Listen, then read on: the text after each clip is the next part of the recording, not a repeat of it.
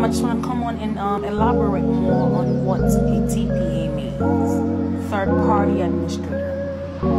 As a matter of fact, it's actually called C slash TPA, Consortium slash Third Party Administrator.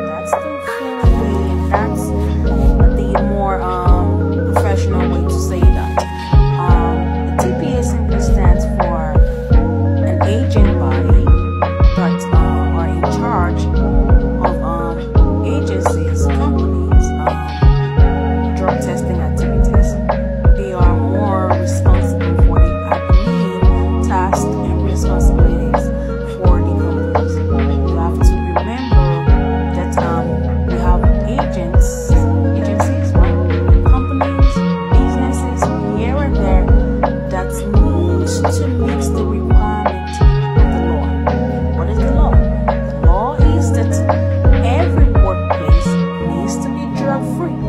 It's an act that was passed, and that every agency that is considered employer needs to make sure that all of their employees are drug free because we have to maintain a work free drug place. So because of that act, every businesses, every companies, every agencies are